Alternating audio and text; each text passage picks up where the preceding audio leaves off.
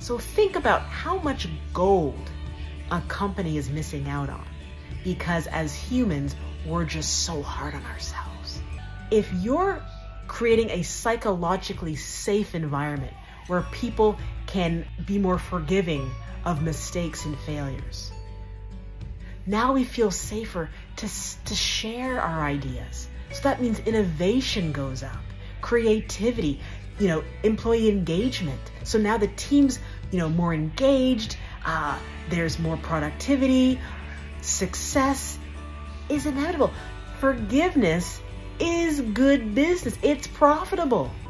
And so the more our teams, our leaders are practicing forgiveness, they become more emotionally intelligent, more growth minded.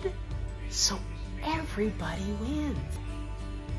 So that's just a tidbit of why I'm hoping that you too will embrace this message and join this conquering unforgiveness movement with me.